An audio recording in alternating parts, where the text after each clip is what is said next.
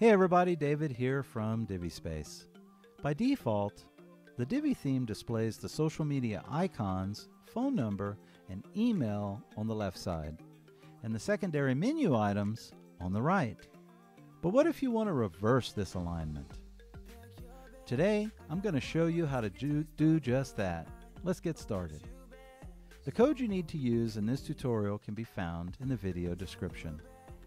Just paste the code to your website. There are a few ways to do this. The best practice is always to add the code to your child theme. Alternatively, you can add the code to the theme customizer, and that's how I will do it here. Let's go to the theme customizer and choose the additional CSS tab. Paste the code. That's it. Easy, right? Was this video helpful?